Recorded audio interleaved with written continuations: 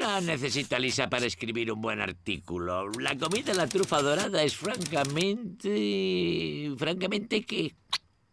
Sí, chupóptera. Y el pan es francamente... Vamos, francamente qué? ¿Wow? No, siempre me dices igual. ¿Correoso? ¡Correoso! Chaval, estás inspirado.